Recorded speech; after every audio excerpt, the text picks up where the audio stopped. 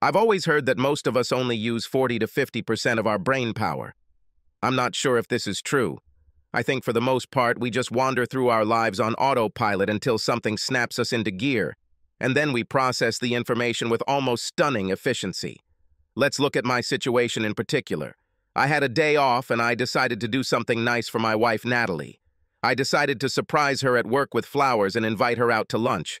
Nat and I work at the same law firm. I am a legal assistant and she is a secretary. When I arrived at the office, I did not see her at her workplace, but I heard voices from the office. In order not to disturb if there was a meeting with a client, I quietly opened the door, as I had done many times. However, what I saw came as a shock to me. Nat was in a compromising situation with our boss, Gunnar Sterling. At first, I was speechless with surprise, but then I was overcome with anger. I opened the door and entered. Nat tried to explain herself, saying that it didn't mean anything and she was just curious. But I was too upset. Gunnar, I quit, I said. As I slammed the door behind me and ran out of the office, it was all I could do not to cry. I made it to the parking lot and got into my car before my emotions got the better of me, and I let the tears roll down my cheeks as my body shook with sobs. As I cried, I wondered how Nat could do this to me. We've been together for so long and made so many sacrifices just to be together. Our wedding itself was a dangerous and heartbreaking event, as each of our families subsequently largely disowned us. My family and I were always close, and I think I was probably my father's favorite. I grew up in a middle-class area in a pretty good family. I met Natalie in high school, and we became friends immediately. There were originally three of us, but the third member of the trio, Melanie Wright, started dating and didn't have much time for us. It was a blow because back then we always hung out at Mel's house. Her parents were exactly what I wanted my parents to be. Her father and I were especially close. He often gave me advice on how to handle certain situations I found myself in with teachers or peers. When school ended, Melanie was already in love with Bobby Bradley. They attended the same college and got married soon after. In the four years between childhood and adulthood, I had not made a single connection, and I wondered why. I was very popular and was asked out many times, but I never accepted. I even turned down some of the cheerleaders. They just seemed too prim to me. Besides, there was no one at that school I was with anyway. Preferred would like to spend time more than with Nat. Our college experience was even less dramatic. Everyone was so busy experimenting, finding our own path to adulthood and becoming a productive member of society, that no one really cared about us. After several guys asked Natalie out and were turned down, people just accepted that we were together, even though we hadn't officially announced anything. After college, we both got jobs to pay rent while we tried to figure out our careers. Natalie soon got a job as a secretary, while I still had two more years to study to become a paralegal. As soon as I graduated, I started interviewing with different lawyers and firms. Of all the places I interviewed, I thought I had the best future with Gunnar. He was an associate of one of the city's largest law firms, quickly moving toward becoming a partner and more ambitious than the law allowed. I saw Gunnar move from law to politics and beyond. If I could hitch my wagon to a star, I could do it. Six months after I started working for Gunnar, his secretary simply quit. Gunnar wanted me to interview potential candidates to replace her. In our office, secretaries only did clerical work. They typed documents, made phone calls, and made coffee, my job was to handle all the legal matters that Gunnar didn't have time for. I did research, reviewed case files that might be relevant to the cases we are working on, and compiled documents.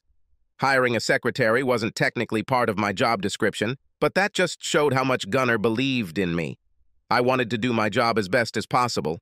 Was it painful for me that the best possible candidate was my own wife? Just not for me. And Gunnar seemed to like Natalie as soon as she walked through the door. He looked at me and said, You made a great choice. Natalie is tall, but very slim. She has short golden blonde hair and is always smiling. Her brown eyes seem to light up every room she enters. She has a very outgoing personality and can usually be relied upon. She will be the soul of any party. She and Gunnar became the closest of friends almost immediately. Maybe I'm just stupid, Maybe I should have foreseen what would happen between them from the very beginning. Maybe all this is my fault. If I had never given Nat this job, it would still be mine. I started the Jeep and drove back home. Almost as soon as I started the car, my phone rang. I looked at my iPhone screen and saw that Nat was calling. I didn't bother to answer him. As soon as I got to our apartment, I started throwing my clothes and personal items into duffel bags, plastic bags, garbage bags, and anything else I could find. Every time I had a couple of bags ready, I would run downstairs and load them into my Jeep. I put all my clothes, toiletries, and personal items in the Jeep. I still had room for electronics and my computer. I put my laptop in the front seat where it would be safe and went back to the apartment to get a new download. I unplugged my TV from the cable box and realized I would need either help or a dolly to move it. If I lower the rear seats and lay him on top of my clothes to create a soft surface, I can easily put him in the back seat. I called down and the building manager was only too happy to lend me a cart so I could move it. Unfortunately, he was unable to help me move it due to his bad back. I put the TV on the cart and wheeled it down the hall to the elevator in less time than it takes to talk about it.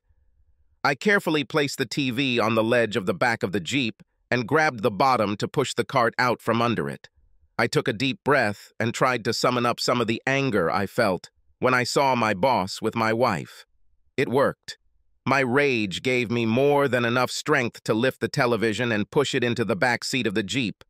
I decided to look around the apartment one last time to make sure I didn't leave anything behind that I couldn't do without.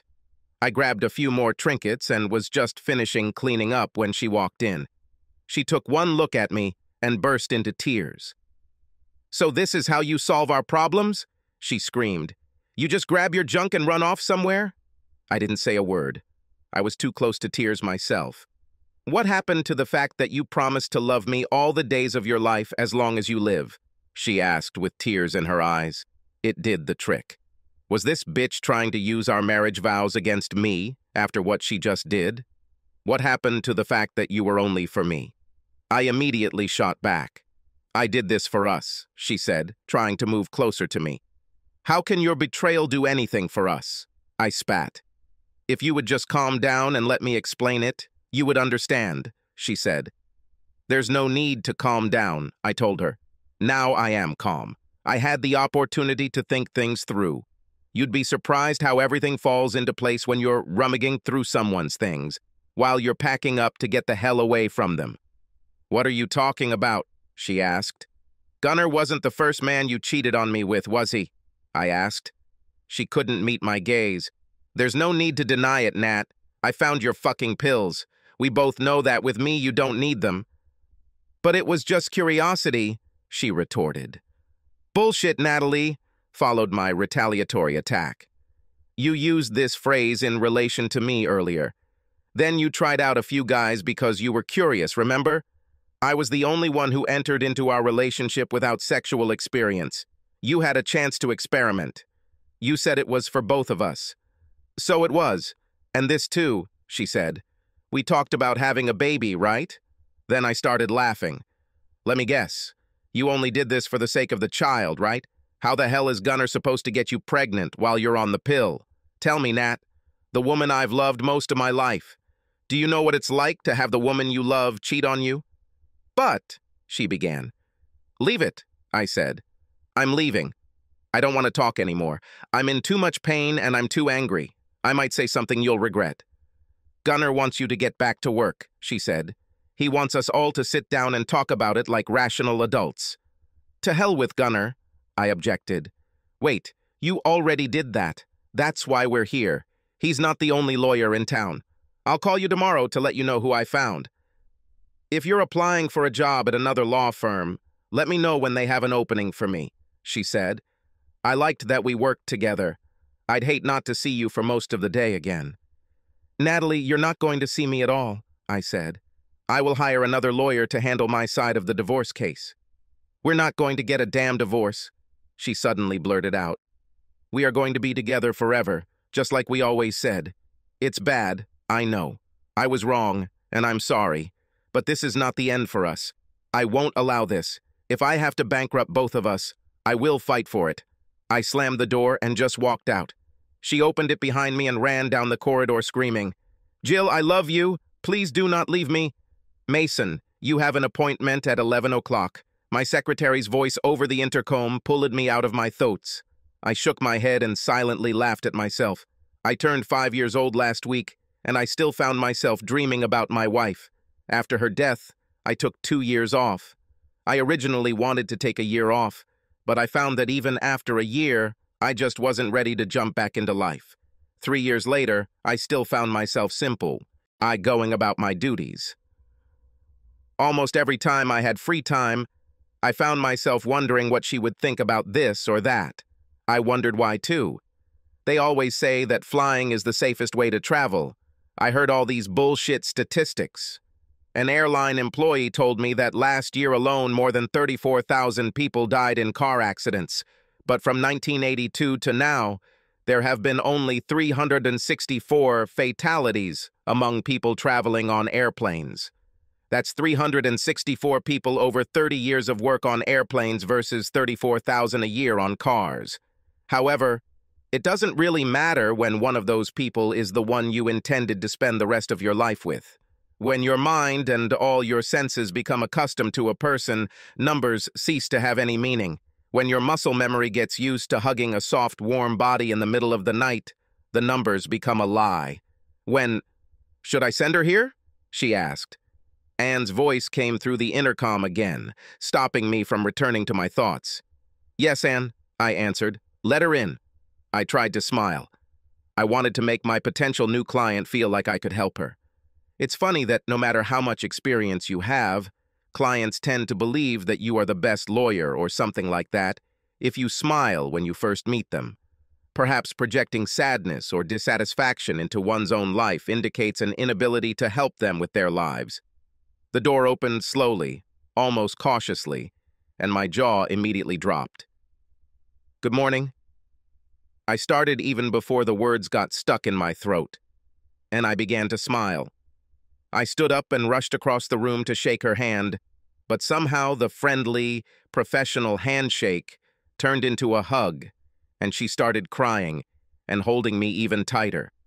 Normally, this wouldn't be a problem, but when the person you're hugging is Jill Black, it's a problem. Well, there were actually two problems, and they were pretty darn serious. Jill, what happened? I asked her.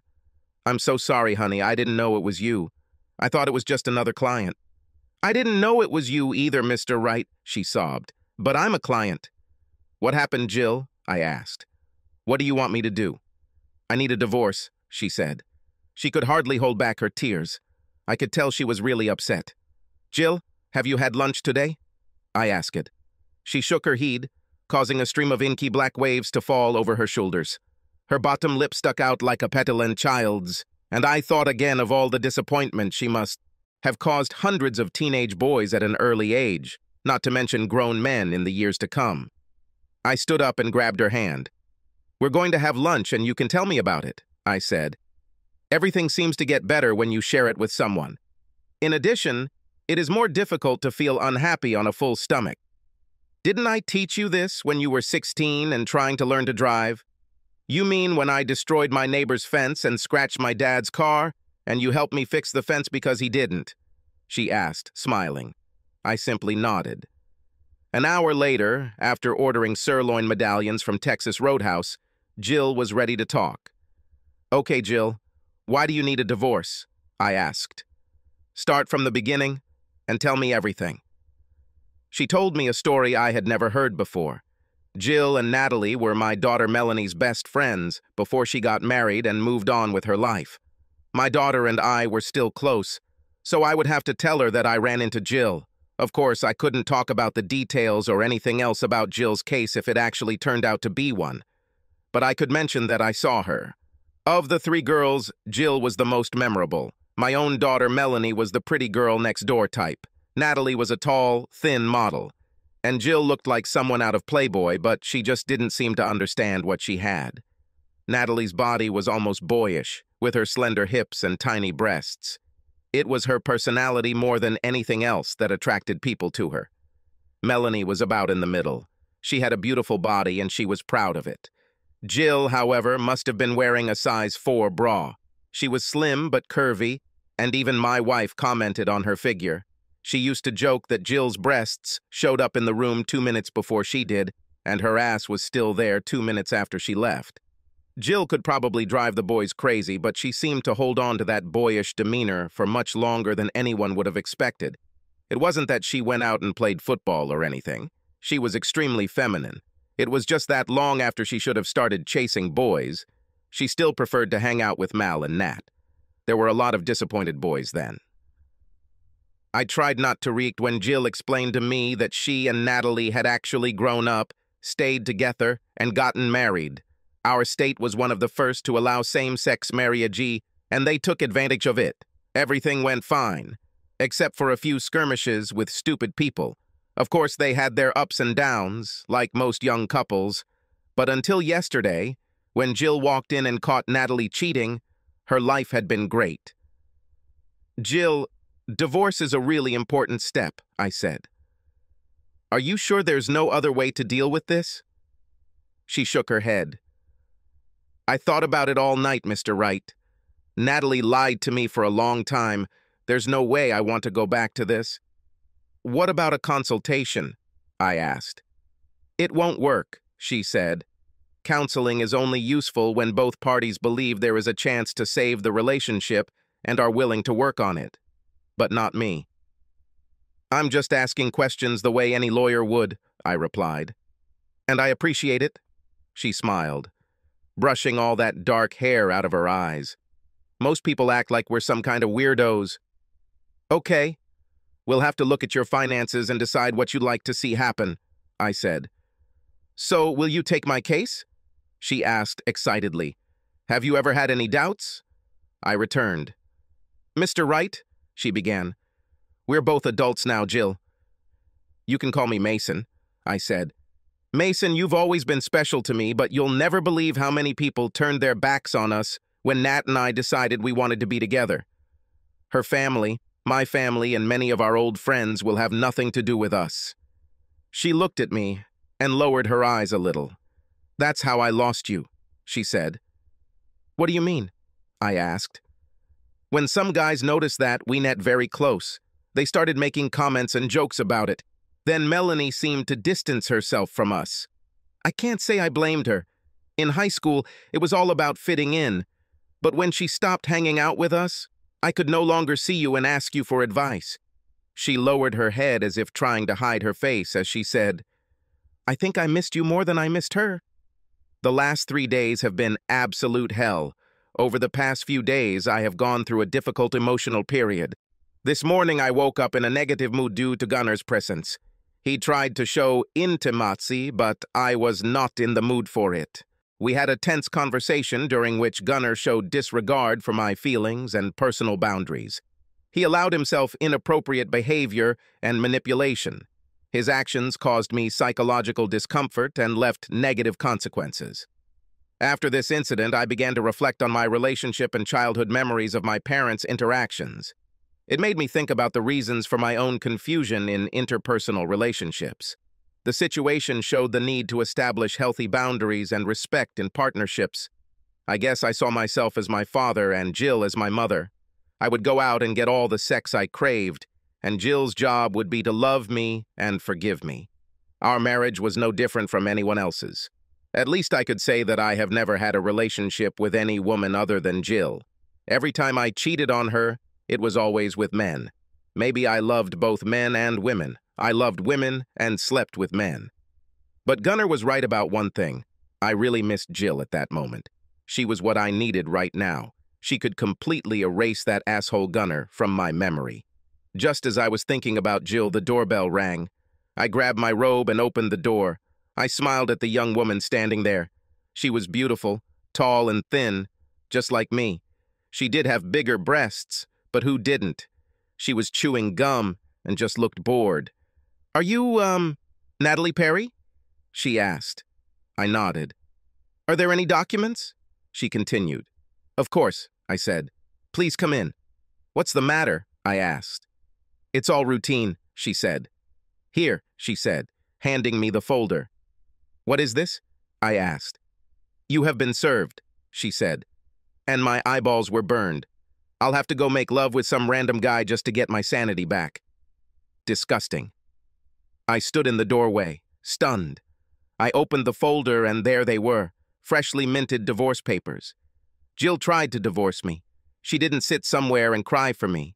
She didn't try to overcome her pain and come back to me. She was finished. Jill moved on with her life without me, something my mother never had the strength to do. I've never been prone to emotional outbursts or anything like that, but this time it was different. I plopped down on the floor. The robe was still open, and the door was wide open, and I wondered where I had gone wrong. Was there someone else with Jill? Was she somewhere with another woman even as I sat there trying not to cry? As I collapsed on the floor, a young couple, passed me along the corridor heading towards the elevator. The guy couldn't take his eyes off my almost naked body, but his girlfriend quickly reined him in. Stop staring at her, she spat. It won't do you any good. Either way, you know she loves women. She looked at me angrily. It took me a while to pull myself together. It just goes to show you that no matter how confident you are in how you play the game, you can get beat. It really doesn't take much effort to upset an apple cart. One bored-looking woman changed the entire paradigm of my life by simply making me sign for a folder of documents that I didn't actually need. The worst part about it all was the fact that I was the one who caused it. Until now, I have walked through life always knowing that I am one step ahead of everyone I encounter. I'm young, I'm attractive, and I crave everything I can experience. I know there's nothing wrong with that, but at the same time, I was smart enough to know that I needed to be grounded and have something to fall back on when everything went to hell, and Jill has always been like that. I learned early on that most men are assholes and simply cannot be relied upon. I love my dad more than I can ever express, but he was and is an asshole. He cheated on my mom all the time. Even now that I'm grown up, he's a jerk. As soon as he found out that I was a carpet weaver, as he called me, he turned his back on me. I probably got my sexual attraction from my father, but my tastes are a little more varied. I like both men and women equally, but no matter who I have sex with, I know there is a difference between love and sex. I love Jill. Sexually, she is a little stunted. Everything with her was always gentle and loving, but sometimes I just needed more variety than that. Jill has always been my best friend, the person you can rely on no matter what.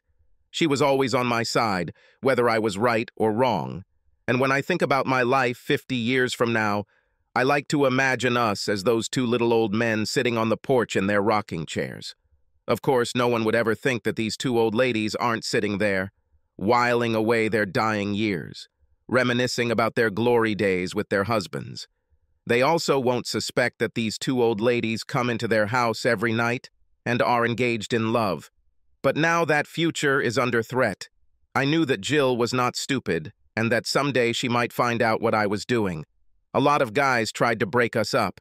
They especially wanted Jill, even though I was the most outgoing. When we finally gave in to the tension that had built up between us for years and made love, there was no turning back. We both experienced emotional struggles for years. I had kissed a few guys before but found it unsatisfying, mainly because they were too rough, too fast, and too selfish. I loved what Jill and I did. Jill, on the other hand, was an enigma. She told me for years that there was a boy she liked, but she could never have him. Since he was off limits, she tried to find someone else who would make her feel as loved as he did, and that person was me. So we were together for completely different reasons, but we worked. Jill was with me for the love I made her feel, and I was with her for the sex and security, but we worked. Until now. Now I really screwed up and lost her. I had not one, but two plans to deal with this situation. The first one was the same one I used earlier when she found out I had sex with a guy after we met. She got angry at me and broke up with me. We spent a little time apart and finally ran into each other and started talking. I cried my eyes out and told her how much I missed her, I told her I only did it because I wanted to be sure.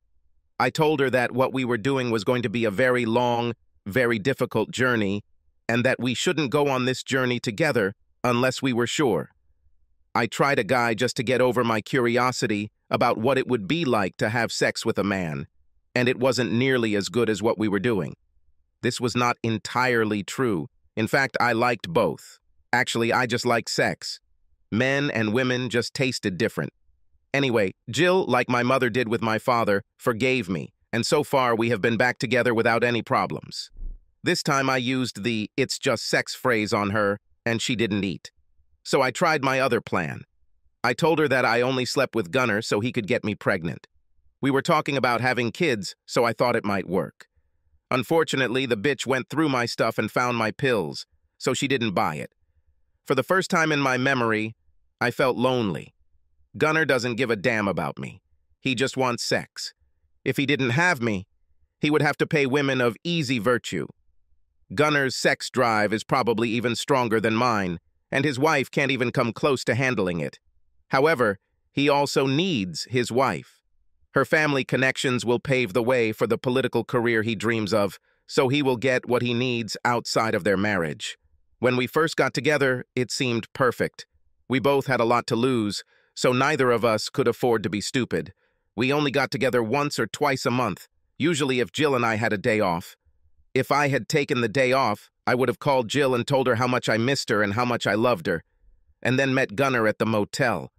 If Jill had a day off, Gunnar and I would just do nasty things right in his office. It worked really well until it didn't, and we got caught. Since then, Gunnar has been using me as his personal toy. He forced me to do things that I just didn't like. In fact, what he seems to like most is that it makes me uncomfortable. The worst thing is that even at work, he expects me I'll fix it missing out on Jill's departure until he finds another paralegal. From now on, the company decided to select personnel for it itself. His last two secretaries mysteriously quit. They just quit. Like Jill did. I'm guessing the firm is trying to figure out why he has such a high turnover rate. I don't think they have any idea why Jill left. Jill herself is silent and has not returned to the office since she left. She didn't even return to pick up her personal belongings. I collected all her things and decided that I would give them to her the next time I saw her. At the time, I was sure it would happen but it's almost as if Jill had disappeared off the face of the earth. She didn't return my calls for the first week or so, and I left her so many messages that I filled up her voicemail. Apparently, she didn't listen to them if the mailbox was full. After that, she changed her phone number, and no one I talked to knew the new number, and if they did, they certainly didn't give it to me. Finally, I managed to close the door and get to the sofa. I took a sleeping pill and just passed out. In the two weeks since Jill first walked into my office, we've gotten together to work on her divorce three or four times. We entered into a settlement agreement and set up a meeting with Natalie and her lawyer, but encountered several obstacles along the way. The first came from the judicial system. As far as I know, no one has ever dealt with a divorce between two women. After all, it's only been a little less than a year since same-sex marriage was legalized in this state. Nobody really knew how to handle it, and I was grateful that there were no children involved because that would have been a real nightmare. It's strange, but while most divorces are settled without a legal battle and all the judge has to do is seal the settlement agreement approved by both parties, everyone seemed to want this case to go before the judge. Perhaps it was simply the strangeness of what was happening. Perhaps they were thinking of using this incident as a template for what would happen in the future. But I didn't think so. My goal was to get this over with as quickly as possible and minimize the pain and emotional trauma that Jill had to go through. Over the past two weeks, it has been nice to see that she has at least partially overcome her pain. The great thing was that when she came in yesterday to talk about what to expect at today's meeting, she smiled. It wasn't one of those, I'm completely free of my pain smiles. This was even better. It was a, I'm really glad to see you smile. I have to admit that Jill and I had parallel recoveries. While she deals with her pain by focusing on moving forward, I finally started to pull my head out of my ass about my wife's death and understand that she would want me to live and move on. This morning, when Jill walked into my office, my breath caught. Even though I tried to think of her as the little girl whose hand I held through so many of life's ups and downs when she was younger, I found myself looking at her and feeling ashamed of myself. She dressed for the meeting in a blue dress that should have been declared illegal. It ended about 15 centimeters below her knee, so it was perfect for the meeting. The problem was that the dress was tight to the body. The dress seemed to highlight the size and fullness of her breasts. Then it hugged her stomach and flared out to highlight the curve of her hips. A slightly plunging neckline wouldn't be a problem for a lesser person, but in Jill's case, her cleavage became the focal point of not only the dress, but the entire room. All eyes were focused on the valley between these breasts. Does this look normal? She asked. I had to look away from her and take a few seconds to collect my thoughts. Her smoky black hair was curled in ringlets that fell over her shoulders. Her big, innocent blue eyes not only complemented the incredible dress, but also stood out strikingly against her black curtain of hair. Her lips blew me away. They were plump and smiling and wearing something I had never seen before. Her lipstick wasn't even close to being real unless you were from a comic book. In fact, her lipstick was the same color as her dress, those blue lips did something to me. Below the neck, it only got worse. No matter how hard I tried to remain professional and remind myself that this woman was young enough to be my daughter, I couldn't take my eyes off her chest. However, there must have been a draft in the office because I saw a shiver run through her body. She bent down and pulled a tiny sweater from the bag she was carrying. The sweater was waist length and very thin, but it provided another layer of coverage on her chest and kept it from being obvious to everyone present. You look stunning, I said. This old thing, she said, looking at me with curiosity. Do I look stunning for a meeting or stunning in general? She held my gaze and refused to look away. Luckily, Penny, my assistant, came into the room and broke the tension. As we left the room to head to the meeting, I couldn't help but notice the incredible way her waist was narrowed by that sweater and formed into a mouth-watering butt. For the first time since my wife died, I looked at a woman as a woman. The problem was that this woman was the same age as my daughter and that she was simply not attracted to men. There was also the issue of professional ethics. In fact, if everything had gone according to plan, the issue of ethics would probably have arisen very soon. As we approached the building where I had worked for the past three years, I felt strange. I was a little angry, too.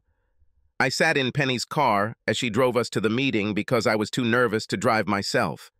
The funny thing about all this was that I never thought about Natalie. I have not seen or received any messages from Natalie for over two weeks. Every day it became easier for me to live without her. All my feelings came from another source. First of all, I was angry because I was stuck in the car with Penny. Penny wasn't a bad person, and she was actually very professional.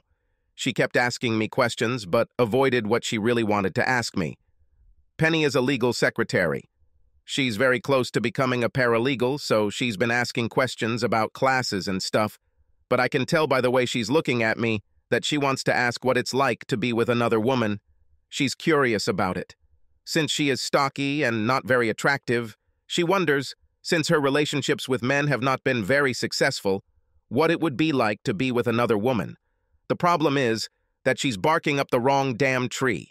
I can't really tell her anything because I don't know.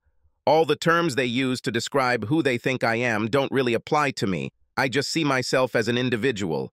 It is very difficult.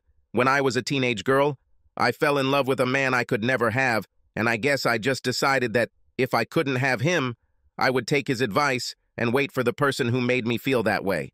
The same as him. In fact, he never knew. We talked about boys, and he told me to wait for the guy who makes me feel really special. He told me that I would know when I met him because I would just feel loved. He told me that teenage girls fell in and out of love with each other in the blink of an eye, but whoever I loved, I had to wait for someone who really loved me. The problem was that I vowed to wait for this person, but I never found him. So I settled on the first person who made me feel that way, and that was she. So now that I'm divorcing her, he's back in my life, or I'm back in his. And I've discovered that he's not as unattainable as I previously thought. It seemed like fate to me. The problem was that he didn't even give me any hint as to whether I might be interested in him or not. He invited me to lunch several times, and was the person I turned to for advice and even comfort during this difficult period. In fact, he treated me exactly the same as when I was a little girl. It was almost like old times. I fell off the bike and skinned my knees, and he washed them and put a band-aid on them. He kissed the tip of his finger and then pressed it gently against the patch, and I felt invincible. I wanted him to kiss me when I was an adult and see if they felt the same. So, even though I didn't need to dress for this meeting, I bought a new dress. I dressed for him. I needed to see if there would be a reaction. When I entered the room, I realized that he was stunned. It was so sweet. He tried his best not to look at me. So I asked him if I looked good. He found it difficult to answer. Finally, he told me that I looked stunning.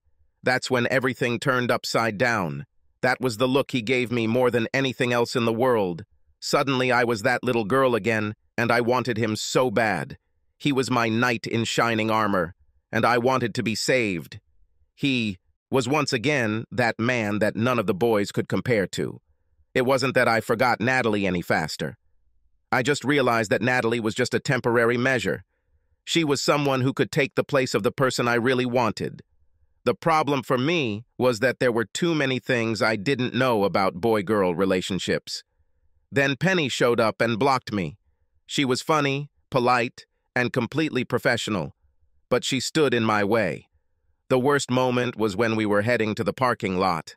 I announced that I was too nervous to drive, so Penny suggested we all go together.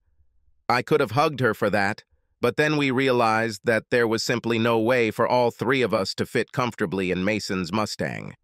I had my hand on the passenger door handle when Penny suggested we all fit in either my Jeep or, since I didn't want to drive, her Ford Explorer.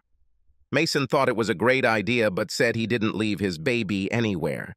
So he decided to go there by car and let Penny and I go together. Great, Penny said enthusiastically. We can continue our girl talk and give you the opportunity to relax. I smiled brightly, wondering if she could tell that I was thinking about knocking out her teeth. If she hadn't shown up, Mason and I would be squeezed in in this small car together.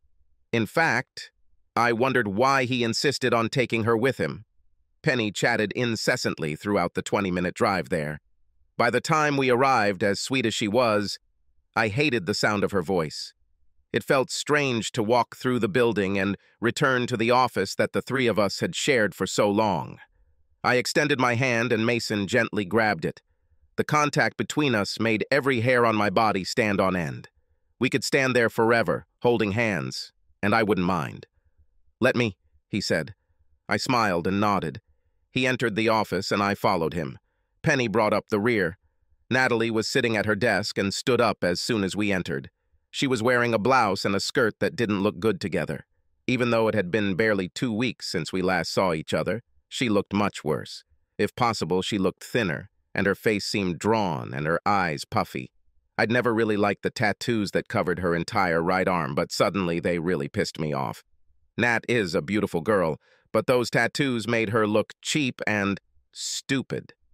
We are meeting in the conference room, she said, leading us into the room. She ran out for coffee and a plate of pastries. Gunnar will be here in a few minutes, she said when she returned. Before we begin, can I please talk to you in private, Jill? No, Mason said quietly.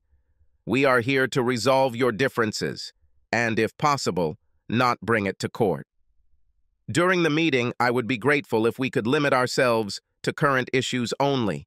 After the meeting, if you two want to talk, you can exchange phone numbers or arrange to meet at any location convenient for you. But unless you two have decided that this meeting is not necessary, we must do this according to the rules. Do any of you think we should cancel or reschedule the meeting? He asked. I don't do this, I said quietly but sternly. Let's have a meeting. I looked away from Natalie and sank into a chair. Mason sat down on one side of me, and Penny sat at the opposite end of the table. Natalie's shoulders slumped, and she left the room. When we were alone, Mason asked me a couple of questions. Is Gunnar the same guy she cheated with? He asked. I nodded my head and barely contained my disgust. Mason smiled, and I wondered why.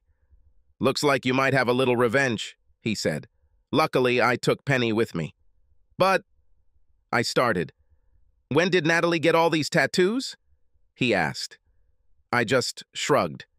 Do you have any? He asked. I smiled and started to think of a flirty answer, but Gunnar entered the room. As usual, he was in a sharp suit and boastful. He came up to me and reached out to me as if he wanted to hug me. I started to cringe, but there was no need for that. Mason leaned over me and extended his hand. Mason Wright, he said.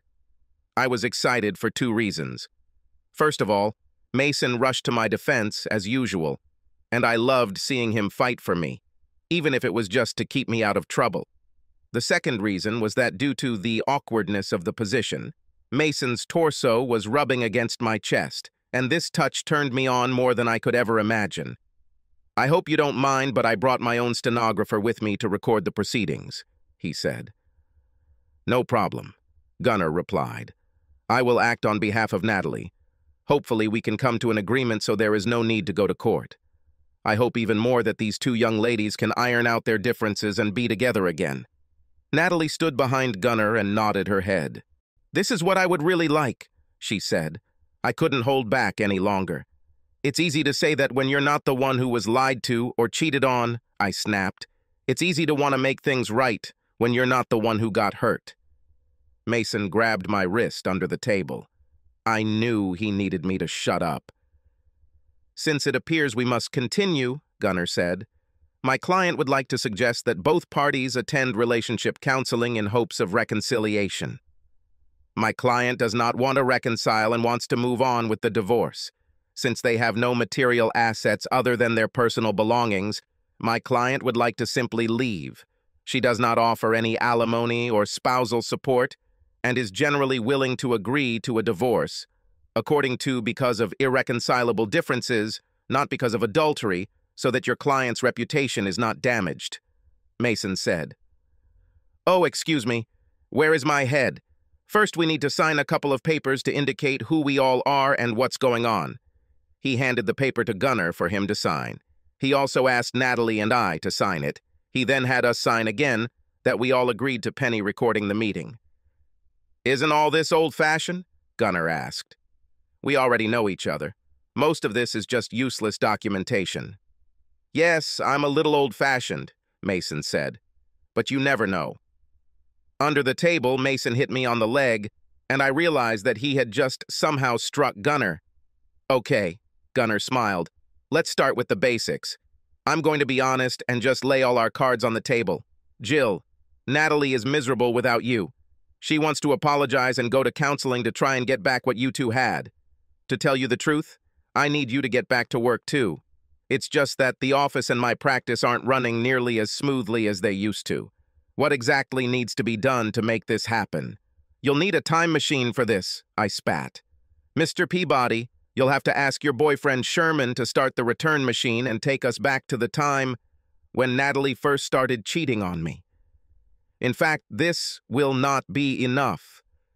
You'll have to give me some kind of medicine or treatment to erase my memory so I won't be haunted by visions of the man who swore to love, honor, and stay with me for the rest of my life, having sex with the meanest lawyer I know, it should also stop me from having nightmares where I'm sitting at home trying to make sure we're okay while Nat sleeps with every random man he can find. I'll also need something to make me trust her again, and something else to make me respect her, all just so we can get even. If you're talking about making amends to me, then... Natalie began to cry and ran out of the room. Penny quickly ran after her. What's wrong with her? I asked. Don't you think you were a little harsh? Gunnar asked. He still had that smug look on his face, and it occurred to me that he actually enjoyed seeing Natalie get hurt. The look on your face, he said. It was pure hatred. I can't believe you went from worshipping her two weeks ago to almost hating her now. I think you're still in shock. I'm almost afraid to ask how you feel about me. I don't think you want to know how I feel about you, I said, and his smile disappeared. Are you at least willing to consider giving this a short period of time before just breaking off the relationship? He asked. At this point, Penny and Natalie returned to the room. No, that's not true, I said, and my answer was directed more at Natalie than at Gunnar. I think I've just been too damaged by all of this to ever trust her again. The only chance we have is to be completely honest with each other and try to remain friends. If we finally break up and are completely honest with each other, then maybe we can start over. But this time, before I get into a relationship with her, we have to set certain ground rules about what each of us can and what we cannot do. The first step in this direction would be to end the divorce so we can start over. Maybe after the divorce is final, we could talk and move on. Natalie listened to the entire conversation. Mason wasn't the only one who could be made fun of. I had no intention of ever returning to Nat. Like I said, she hurt me too much, but I wanted her to think that if she agreed to the divorce, we would have a chance. When we sat down again, Gunnar started again. I think what you tried to do earlier was a bluff, he told Mason. You agree to irreconcilable differences only because you have no evidence of adultery. You have no photos or videos to prove anything. And how do you know this? Mason asked. Gunnar quickly turned green with embarrassment. He drank the water in one gulp and cleared his throat. Well, in this state, the reason for divorce is not really, he began. I did it, Natalie said quietly. Uh, shut up, Nat, Gunnar hissed. Your confession is the same as the fact that they have evidence. If you admit to adultery and we end up in front of a judge, you could end up with a worse outcome in the settlement. What is the settlement? Natalie asked.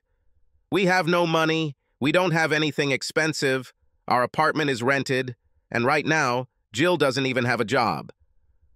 What can any judge take from us or force us to divide? She still has some of her things in her apartment and some from her office. I would give it all back to her whenever she wanted. I just want this to end so we can start over. Give me the papers and I'll sign them. Jill, can you promise that when this is all over, we can talk? I looked across the table and nodded my head. She took a pen and signed the papers. I know you're so mad at me right now that you probably don't want to talk to me, she said.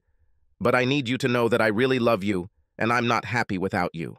I guess I just didn't realize how important you are to me. I was just stupid and greedy. I wanted to have my cake and eat it too. I guess, after all, I am my father's daughter. Then she got up and left the room. This time she managed to leave the room before she started crying. Gunnar looked at me and smiled. Okay, so what does this give us? He asked.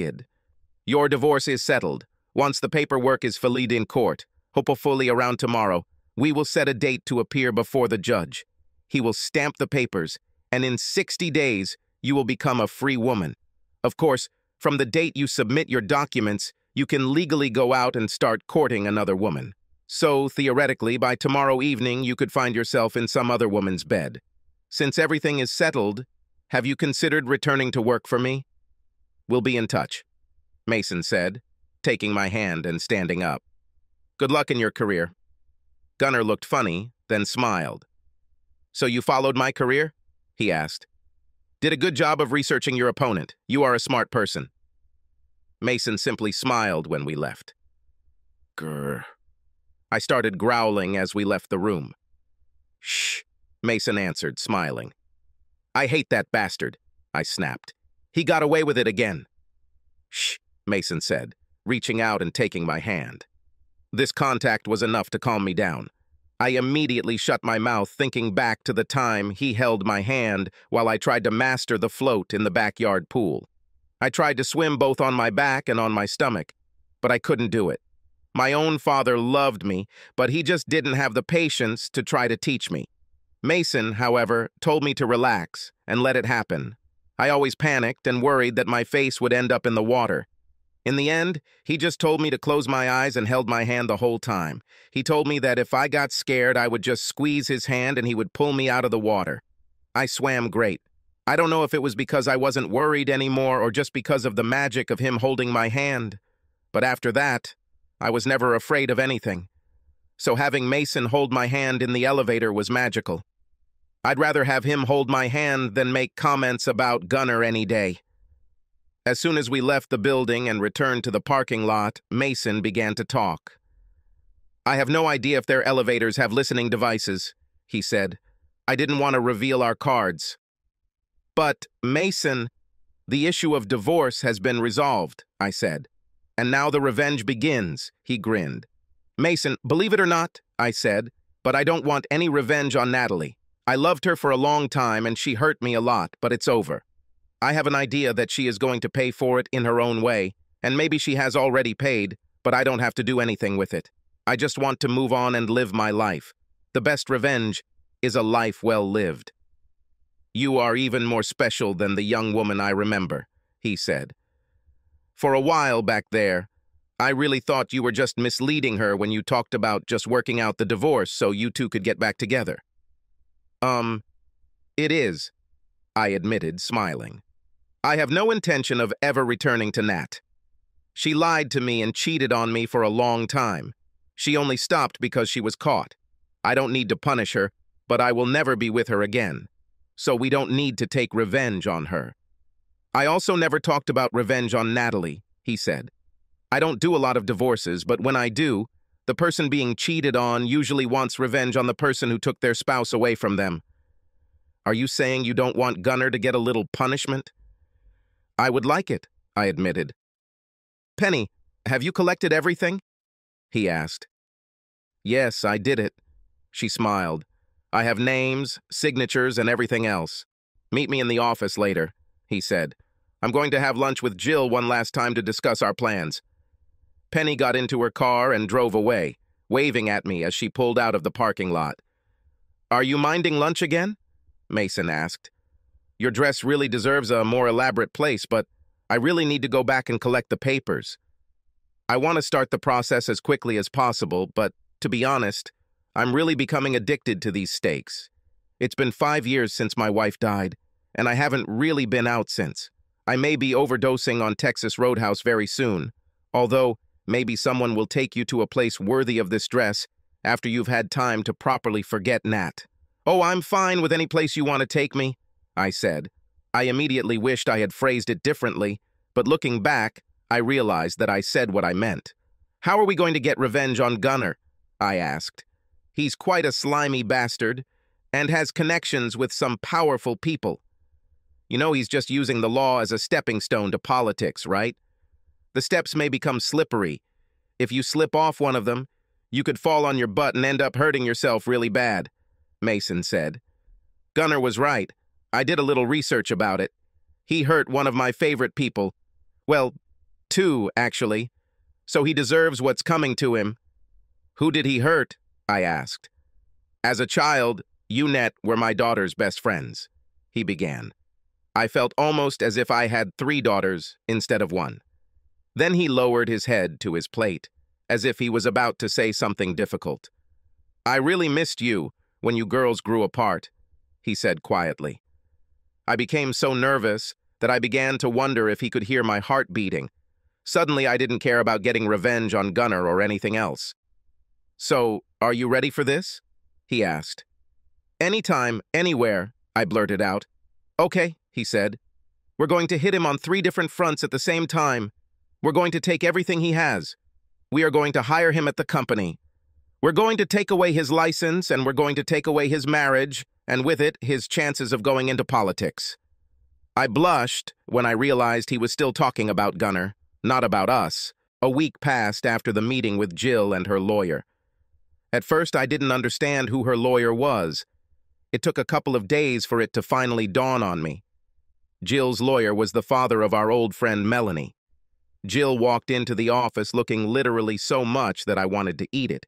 I didn't know where she got that blue dress, but it was incredible. The blue color set off her beautiful eyes so well that I just felt like a fool. Every man in the building talked about her after she left, as did half the women. I couldn't believe I risked losing her to Gunnar. The worst part was that Gunnar was still forcing me to do things I didn't like. I realized that Gunnar enjoyed bossing people around. He had a strong superiority complex and hated losing at anything. After the meeting, he was especially angry because he had not scored a single point during our conversation. He had to give in to every damn demand. They were not forced into counseling. There was no way Jill and I would be together until the divorce was over. What angered him the most was that Jill had no intention of coming back to work with us. I truly believe that after he saw her in that dress, he was most disappointed that he would no longer have the opportunity to sleep with her. He, too, became increasingly demanding at work, constantly reminding me that if he charged me a fee to file my divorce, I would probably end up paying him off for years. He constantly reminded me that I was in his debt and that when he was ready to receive the money, I would have to agree without question to whatever he wanted. I got to the point where I really didn't care. What could he do to me that would be worse than what I had already gone through? When you're used to coming home to a woman who loves you with all her being and who will do anything to make you happy, losing her is hard. Losing her because you were stupid and greedy is even harder. I kicked myself every day, Seeing her in that dress only made me kick myself harder. The door to the office opened, and at the same moment the phone rang. I picked up the phone and recognized the voice of Gunnar's wife, Arlene. She became very angry and demanded to speak to him. I connected it to his personal line and, okay, I'm curious, left the connection open. Gunnar, get your ass home right now. The words were precise and abrupt, betraying her anger. Honey, no matter how serious the emergency, I can't just quit work, Gunnar replied. The only emergency is your well-being, asshole, she said. Some time ago, there was a woman here who handed you some papers. All she said was that it was a private matter. You've been sued. I want to know why and by whom, and it better not be what I think. If you cheated on me, it's over between us, and I want your ass out of my house. I couldn't get this woman to tell me what this case was about. She babbled something about how she couldn't reveal the details, but I'd find out. I was able to find out the name of the law firm she represents from the card she left for you. I'm sure one of my dad's friends knows someone there who can tell me. So you better get your ass home and confess everything before I find out. I looked through the glass partition and saw that Gunnar's usually tanned, smug face was white as a sheet. A call came in on another line. This was one of the partners of our company. He also seemed furious and wanted Gunnar to come upstairs immediately. I promised to forward the call. I looked up and noticed that standing in front of me was the same bored-looking woman who had served me with divorce papers. I heard the door open, but in the confusion of two phone calls, it slipped my mind. She stood there chewing gum and smiling at me. I shuddered, wondering what she wanted from me this time. Relax, honey. I'm not here for you she said. Is Gunnar Sterling here? I sighed with relief and pointed to the door of his office. Through the glass partition separating our workspaces, I saw Gunnar hastily packing his briefcase, getting ready to go home. You better catch him quickly, I said. He had a hard day. It's about to get much worse, she grinned. She walked to the door and opened it. She left the door open. Gunny Highway? she asked. Gunnar was furious. Didn't you see my name on this door? he shouted. I'm Gunnar Sterling. It's Gunnar, not Gunny, and Sterling, not Highway. My name is right on the damn door. I just needed you to introduce yourself, she said, handing him a pile of folders. There must have been at least five of them. She only gave me one, and it pretty much ruined my life. Then she turned on her heel and walked away. Don't bother having a good day, she said over his shoulder. Gunnar began tearing apart the folders, and as he opened each one, he became redder and angrier. He shouted for me to come into his office. You little bitch, he shouted.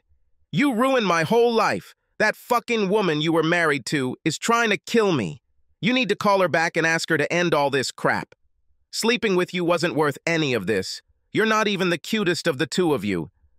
Before he could say anything else, we were interrupted. Sterling! This name was pronounced with obvious contempt. I turned around and recoiled at the sight of Wilton Moss, one of the founders and senior partners of our law firm.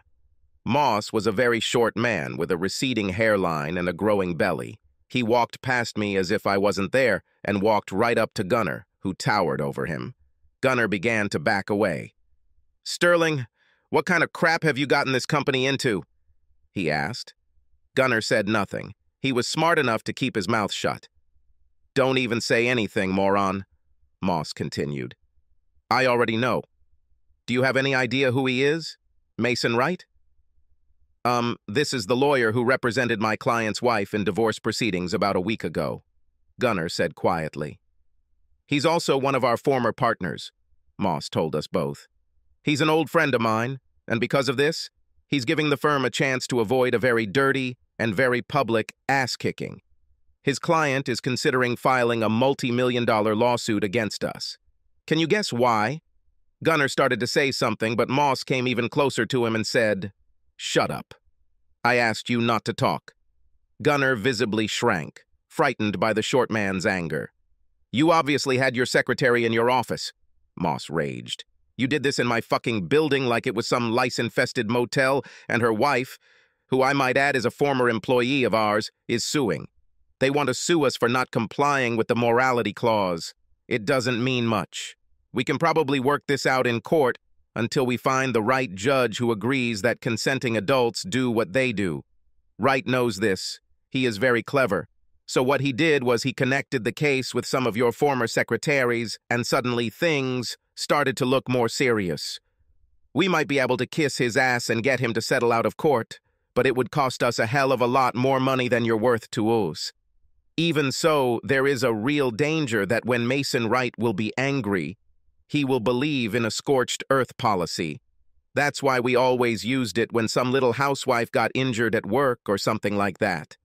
He has a talent for using the press to turn everyone against a big company, and in this case, we are a big company. Our only hope is to get him to calm down. I'm working on it, Gunnar whined. If you give me a chance, I can fix all this. You can't do a damn thing, Moss spat. This is just the tip of the iceberg. Did you know that Wright also served on the local bar association committee? He filed several ethics cases against you.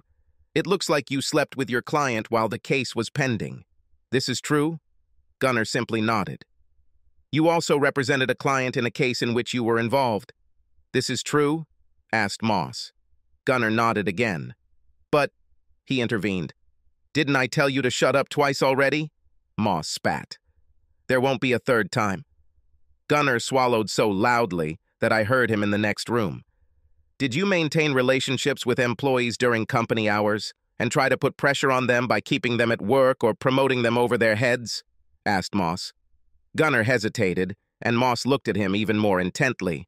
Gunnar nodded. I have a friend who works at another firm who just told me that your legal problems are growing, Moss continued. Apparently, Congressman Dennings, your wife's father, heard about this, and an employee from his former law firm was sent to your home just a few minutes ago. He is a specialist in high-profile divorces. I believe your wife is planning to divorce you. We have also received a message from the Bar Association. Due to an investigation into your alleged ethical violations, your license to practice law has been suspended pending the outcome of your cases.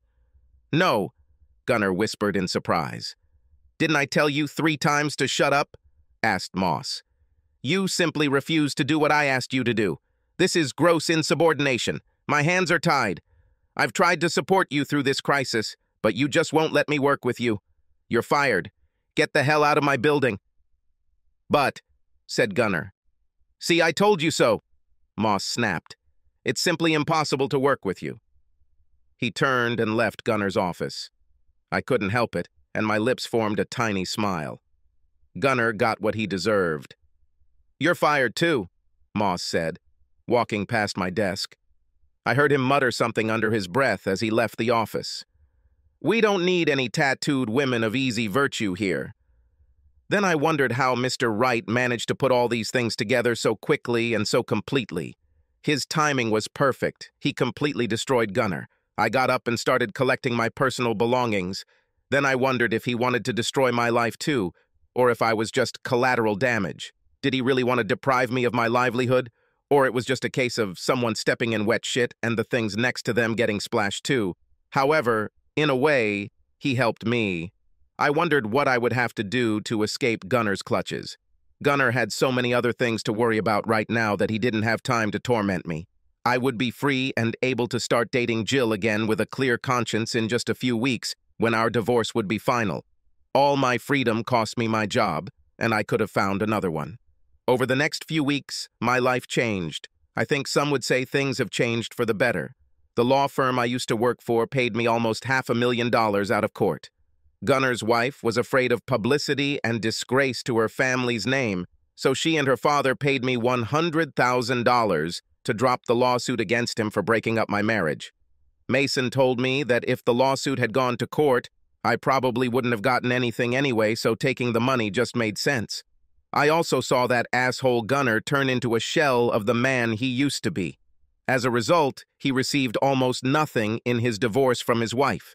He was also disbarred and his case was referred to the National Bar Association, so there was very little chance that he would practice law again anywhere in the country. He eventually quietly left town and was never heard from again. I guess the reason I wasn't overjoyed was because I was alone. After all the legal issues were settled, Mason simply disappeared from my life. The worst thing was that Natalie found out my new phone number from my parents and tried to call me again. She reminded me that I owed her a meeting, but I pushed her away, reminding her that we still had almost a month before the divorce was finalized. She whined about having to wait so long and started telling me about her financial difficulties. She tried to make it seem like it was my fault that she lost her job and had trouble finding another one. I simply told her that I would call her after the divorce was finalized and hung up. Finally, a ray of sunlight broke through the darkness from the most unexpected source. I picked up the phone, thinking it was Nat calling again. I told you that I'll call you after the divorcee is finalized, I shouted. Girl, you must be mad at Nat, said a voice. Sorry, I thought you were her, I said. Jill, this is Melanie, and I'm a little mad at you, she said. Can I meet you somewhere for lunch tomorrow? Are you coming to town? I asked. I have no choice, she said. Choose a place. How about a Texas Roadhouse here in town? I said. Would you choose this place? I could almost hear the grin in Melanie's voice. I'll be there at two, this way we'll have some privacy and won't have to worry about the lunch crowd. Don't dress up. I wondered what Mel could be angry with me about. I haven't seen her in almost 10 years since she started dating guys and I started with Nat. The next day after lunch, I went to the restaurant. It was almost empty, and the staff were busy cleaning up after the crowd of diners. I easily noticed Melanie and approached her. The worry on her face disappeared for a moment, and we looked like those two teenage girls again. Damn, these things are huge, she said. What a waste of time. Suddenly, she got angry again. You know, when we were growing up, I loved you and Nat, she said angrily. And I know I screwed up, Jill. I know I was wrong, but that was 10 damn years ago. I was only 17. I've thought about it a lot since then. You can blame it on hormones or peer pressure or whatever, but I'm truly sorry. I should have handled this differently. Mel, what the hell are you talking about? I asked. Can I finish? She asked. I nodded, and she continued ranting. Anyway, I made a lot of mistakes, but I never expected this from you, she hissed. The funny thing about all this is that even when we were young, Natalie was a walker. But Jill, you were like family to me. I loved Nat too, even though she was like that, because she taught me a lot of things, like how to go after what you want, but you were like a sister to me. My parents always bought extra things just in case you wanted or needed something. They loved you, Jill.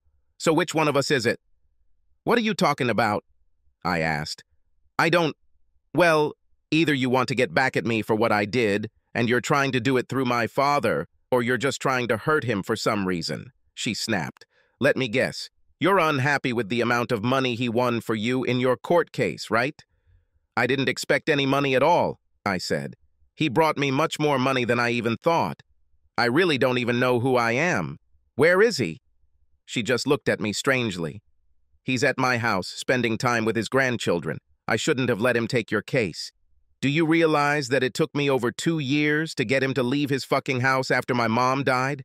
For the past three years, he has only left the house to go to work and sometimes visit me. Then, out of the blue, he called me and canceled his visit because you showed up at his office. For weeks, I had been hearing about Jill this and Jill that.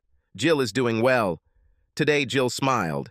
Jill wore that fucking blue dress he can't stop talking about. I smiled when I heard about this. One weekend, we needed him to watch the kids so we could go to my husband's work for dinner. We were watching TV, and it showed Angelina Jolie dressed up for one of those award shows. My husband said something stupid about her being the most beautiful dark-haired woman in the world. Before I could spank him, my dad said, You should have seen Jill in that blue dress. You would have changed your mind. I thought it was innocent and I was happy that he was going back to normal, but now, she said. So what now? I asked. She just looked at me again. What's wrong? I asked. He's all right, isn't he? Without realizing it, my voice became louder and I almost shouted at her. Um, Jill, calm down, she said. She moved her head left and right, and I followed her gaze and noticed that everyone was looking at us. Can I come and visit him to make sure he's okay? I asked. I know you don't like me or the way my life turned out, but I need to make sure he's okay. Why do you need it? She asked. Really, I can handle it. I just need to know why this is happening. Really, I just needed to know who to crush. I inherited this from my father. When someone we love gets into trouble, we tend to kill anyone who threatens them. I think we protect each other in a way. I just needed to know that you weren't doing this on purpose. Although, if that was the case, I needed to know why. She looked at me and cocked her head to the side. The waitress interrupted us by coming over to take our orders. Melanie began to smile. After the waitress left, she changed the subject and started talking about harmless things. I kept trying to bring the conversation back to her father, and she was talking about flowers or her children, and I was getting angrier by the second. Our food was brought, and she calmly began to eat hers. I snatched the fork from her hands and demanded that she tell me what was happening to her father. Oh, damn, this is too funny, she said. You have it too. I don't even know where to start dealing with this. Do I have what? I asked loudly. What's so funny about this? People started staring at us again. Jill, are you in love with my dad? She asked. Of course not, I muttered. That's right, she said. You really are like that, damn it. It's written all over your face. It's just hilarious. Okay, maybe so, I admitted. Maybe I've always been like this. I can't help it, Mel. I'm really sorry. So, when did this start? She asked, taking a bite of her steak. Then I noticed that she was chewing just like him. When we were little, I said. He was always so patient and so kind. I guess I just judged other guys and men by him and they just didn't measure up, so I ended up with... You ended up with Nat because she loved you and boys only wanted sex. Jill, boys are pretty much stupid. They are especially stupid during adolescence. They're just walking blobs of hormones, so if you put a body like yours in front of them, asking them to think is just overkill. But don't you... She asked. You mean, don't I only like woman? I asked. I don't know. I really do not know. I never thought about it. In my entire life, there have only been two people I have ever loved. I fall in love with people for the way they make me feel and the way they treat me. I never thought about what gender they were. I would probably still be with Nat if she hadn't cheated on me and treated me like crap. I am very true to myself, and deserve someone who wants to be with me and only me. Then you have a serious problem, she said. Good luck with that. What do you mean? I asked. She looked at me and smiled. Well, Jill, I think my dad loves you too. I've seen the look in his eyes before when he talked about you with my mother, but my dad is very old-fashioned. He thinks that what he feels for you is wrong. You're only a year older than me which means he's 19 years older than you. In his opinion, this is too big an age difference. Secondly, he thinks you like women. And my dad is very good with people, so he will never try to pressure you or even let you know that he is interested in you. He would think he was trying to influence your preferences or your lifestyle. It won't be easy. What should I do? I asked. Do what you usually do to get a guy, she said. Melanie, I never picked up boyfriend, I whined.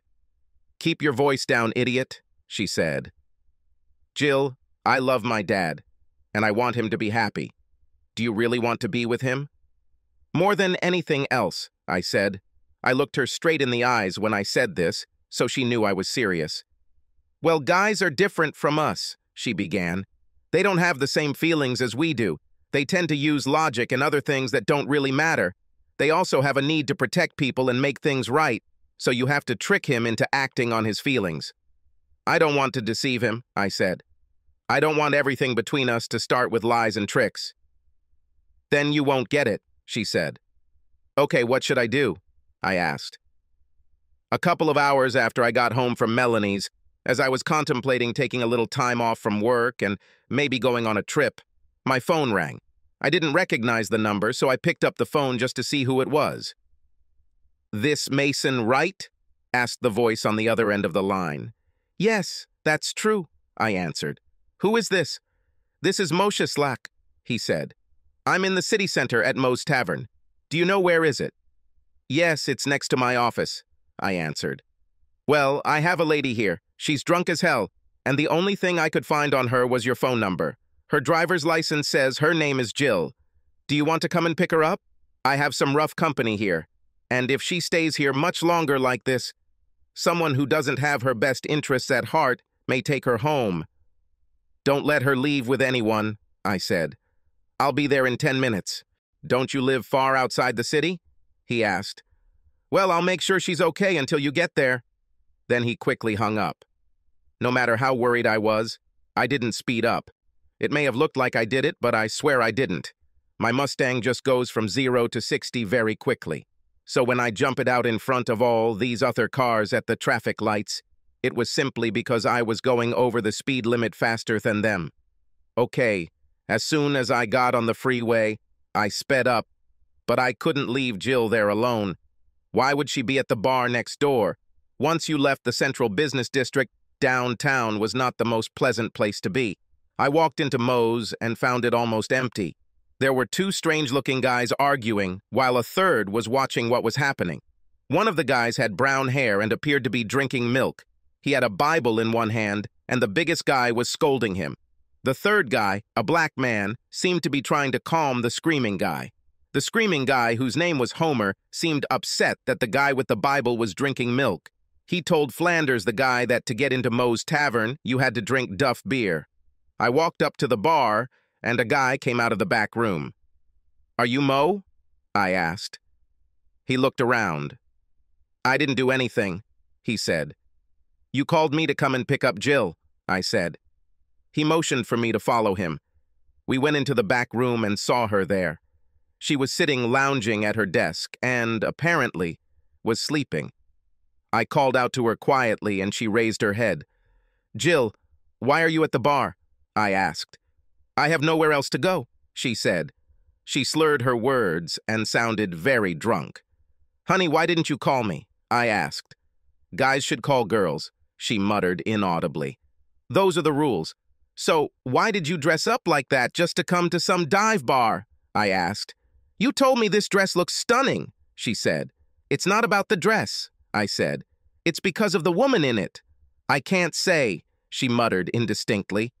As soon as my case was closed, you disappeared, as if you had stolen something. I should have known you didn't like me. You should have just said it. I think it's because I was with a girl, right? Men don't like girls who like girls. You haven't even been around long enough for us to talk about how much I owe you for being my lawyer. You hate me so much that you wouldn't even take money from me. Moe looked at me with a crazy look. None of this is true, I said. It's all the alcohol talking. They say that most drunks say what they really mean, but are too reserved to say it when they're sober, Moe suggested. So she must believe it. I bought this stupid dress just for you, she muttered inaudibly. I wanted to please you because I like you, and I always liked it. I was involved in her divorce, I said. Moe simply nodded. Does her ID have her address on it? I asked Ed. Moe nodded, I looked at her driver's license. This is my old address, she said. I don't live there anymore. Where do you live now? I asked. In my new apartment, she said. I live there completely alone. What is your address? I asked. Home, she said. But I don't feel at home there. Then she leaned back on the table, apparently falling asleep. I need to go back to the bar, Moe said. I put one arm around Jill's neck and lifted her from the chair. I carried her through the bar to my car. The hand that wrapped around my neck held on to me, and somehow her other hand joined it. I was able to unlock the passenger door and open it. I carefully placed her in the passenger seat and fastened her seatbelt. I got into the driver's seat and drove straight home, and once there, I got out of the car and opened the door to the house. I carried her up the stairs and laid her carefully on the bed in the guest bedroom. The room was very dusty, but I decided it would be better than staying in a dirty bar full of men. I left the light on in the hallway and left the door open in case she woke up during the night. I brought a glass of juice and another glass of water and placed them on the bedside table. I was sure that when she woke up, she would be very thirsty. I have to admit that I went back and checked on her several times that evening. I stood there looking at her and admiring the curves and nuances of that beautiful body. But after the first few moments spent looking at it and noticing its curves and crevices and the differences in the sizes and proportions of the various parts, I began to look in a different direction. I couldn't take my eyes off her face. There was more to it than just the placement, size, or shape of the elements. Her whole face was simply beautiful. I'm sure it was a purely subjective thing. I mean, if we took four or five guys and asked them to look at four or five different women, we probably wouldn't agree on which one is the most beautiful or even why. All I could say was that I could look at Jill's face for the rest of my life and not regret it. I smiled, imagining what she would look like in 20 years. She would develop a few wrinkles and possibly crow's feet at the corners of her eyes. But she would still have the same face shape. Her lips would still be full, and especially that bottom lip would still stick out and excite me. Her tiny button-shaped nose still twitched slightly when she was angry, and those big innocent blue eyes still sparkled and caught every stray ray of light. Then, suddenly, I realized that in 20 years, when she would be in her late 40s, approaching 50, I would be in my 60s, approaching 70, and probably close to infirmity and death. She would also use those plump, seductive lips and eyes to excite some woman she had settled down with, and I doubt she would even remember me by then. That thought alone was sobering enough to make me stop staring at her and decide to go to bed. I checked my email and went to bed. In fact, it was still early, barely 11 o'clock in the evening. As I drifted off to sleep, I couldn't deny that my thoughts were still not on Jill. I decided that I just needed to go out and do things more regularly so that I could start dating women who were more available and suitable for me. I drifted in and out of sleep for I don't know how long before I realized I wasn't alone. Jill tried to act out a scene for me until I realized that she was sober and she had to confess everything. Maybe you love me too much, she said. I told Melanie that you would never do this. Okay, you're still drunk, I said. Now you're talking about Melanie, not Natalie. You and her will never... Nothing like this has ever happened. Mel is not interested in women, she said. She was never even curious. And speaking of never, I have never been drunk. I did put some alcohol on my lips so you could smell it and maybe even taste it, but... Mason? I don't drink. Then why were you at the bar? I asked. I was confused because Moe is my uncle, and I was completely safe there. Besides, I needed a place where you could come and save me, she said. Why did I need to save you? I asked. Why couldn't you just call me and talk? Because Melanie and I talked yesterday before she sent you home. This was her whole plan. We have a very big problem that needs to be taken care of, and she saw this as a possible solution, she said. What's the problem? I asked. Recently you discovered that you like a certain girl. You're sure she thinks you're too old for her. And you are also sure that you are not her type. You're also not a strong-willed type of person, so instead of acting on your feelings or exploring them, you overthink everything and just run away to hide from the situation.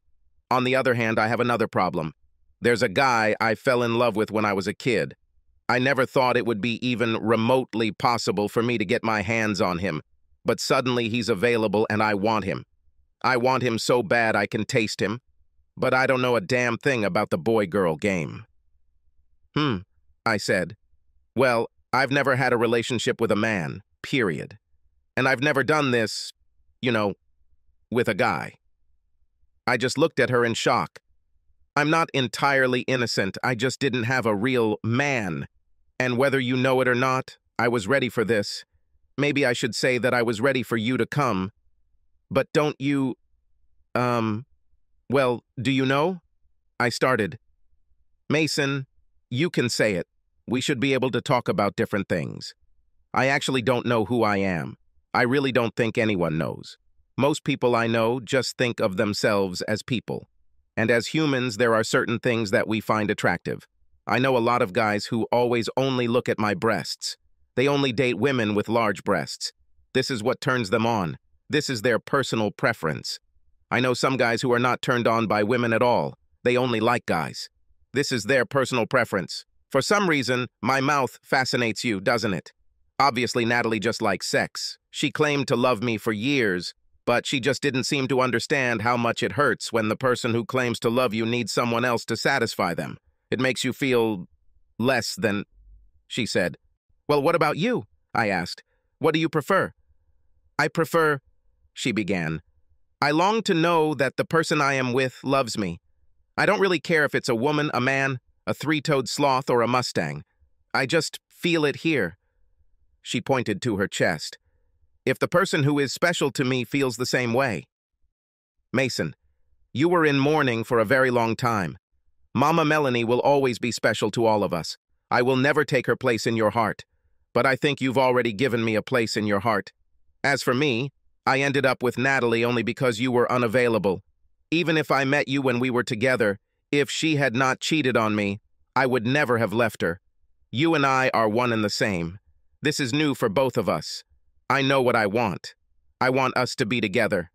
And I want this with all my heart. You don't have to make a commitment to me now, but I think we owe it to ourselves to at least try. If it doesn't work, we'll just go back to being miserable. So, where are we? We've come to the point where I'm telling you that I really love you, I said. I already know that, Mason, she said. I heard the happiness in her voice. But could you show me? We slept the rest of the night cuddled together. We woke up, made love again, and went back to sleep, still entwined in each other's arms. The next thing I remember was that the sun was shining through the windows, and we slept through half the next day. I really think the only reason we woke up then was because the phone rang. Jill released one arm from my embrace and threw the phone off the machine, then rummaged around the nightstand until she found it. Good morning? she said. Her voice was still husky from sleep, but the tone was truly cheerful. This was a good sign. I didn't want her to regret what we did. Yes, it is. And I did it. Of course it is. Do you want to talk to him? Okay, that sounds like a plan. This gives us a week to get dressed and get out of bed. Bye, she said cheerfully. Then she looked at me. I think you broke me, she said. That bottom lip stuck out and my heart melted. Jill, do you mind? I began. No, it's not like that, she said. I'm not fucking fine. I'm like frosted sugar flakes. I'm great. I just looked at her and smiled. I just didn't want you to regret anything, I said. This was the start of something wonderful. We spent a lot of time together. We had barbecues with our families and took trips together. Our life was what I thought was ideal, but I have to admit that I had my doubts. Firstly, there was an age difference. 19 years separate us. But deep down, I think what bothered me the most was that she spent most of her life in love with a woman. What if I was just a phase she was going through? I think I'm the only guy on the planet who comes home every day terrified of the smell of an unfamiliar perfume. When we were in public, she did not take her eyes off me. She didn't pay any attention to other men or women. Jill never gave me any reason to doubt her, but I was still worried. We did face a few challenges, but we got through them together. One of them was just before her divorce was finalized. Natalie asked for changes to their settlement agreement. I think she heard about the money Jill got and wanted some of it. The judge studied our case and found out what really happened. He saw that Nat was actually the reason for the divorce, and that at the time of the actual divorce, neither girl had any money. All the money Jill got came after they got divorced. So Nat, there was nothing to really on. I think this brought Natalie back into Jill's mind. She mentioned it to me a couple of times, and I suppose it was inevitable. The only problem for me was that it happened too quickly. One afternoon I came home early and smelled a strange perfume smell in my house. I heard voices speaking in low tones. I looked out onto our veranda from the kitchen, where no one could see me. Don't you miss me, Jill? Don't you miss the way things used to be? We were the perfect couple, Natalie said. And now it would be even better for us. You have enough money that we won't have to work for a while. We could travel, just the two of us. The boys are finished, now and forever. There's really only one good thing men can do for you. But after they fix your car, they'll still want to be around. Natalie laughed at her own joke, but I didn't hear Jill join in. How much time do we have before Mason returns home? Natalie asked. I'm kind of excited. That's the first thing you've said so far that I agree with, Jill said. That's right, said Natalie. Jill began to smile. What if Mason returns home? Natalie asked. Maybe we could do this together. Don't even think about it, damn it, Jill suddenly snapped. Mason is not like that. He doesn't need two women and he doesn't have that fantasy. I am more than enough for him. And she fell silent. Mason, is that you, honey? I said nothing. I thought I heard him come in, she said. Anyway, let's get back to what we were talking about. So, you said something about being horny, Natalie said. Maybe we could do something really quick. That won't help, Jill snapped.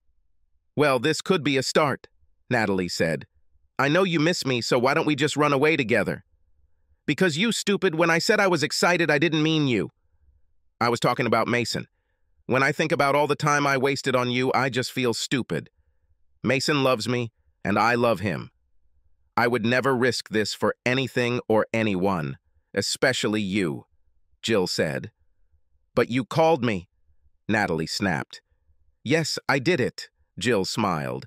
I always try to keep my word, and part of our divorce agreement was that I would talk to you after the divorce was final. We talked. We're done. See you. I need to move on to the next stage of my life without anything from the old days hanging over me. But how can you treat me like this? I... I love you, Natalie moaned. Jill walked away from the table and entered the kitchen, looking around.